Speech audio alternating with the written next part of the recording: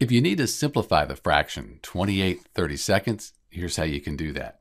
We're looking for another fraction that's equivalent. It's equal to 28 divided by 32, has the same value. It's just that it has a different numerator and denominator.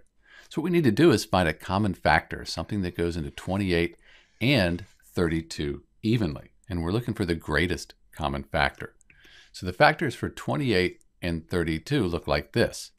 So as I look at the factors for 28 and 32, it looks like the greatest common factor is 4. So we divide 28 by 4 and 32 by 4, and we'll have simplified the fraction 28 30 seconds. Let's move this over here. So 28 divided by 4, that gives us 7, and 32 divided by 4 gives us 8, and we've simplified the fraction 28 30 seconds down to 7 eighths. We can't reduce this any further. So in answer to our question, 28 30 seconds is equivalent to 7 eighths. We've simplified it to 7 eighths. And if you divide 28 by 32 or 7 by 8, you'll get the same decimal answer. These are equivalent fractions. This is Dr. B. Thanks for watching.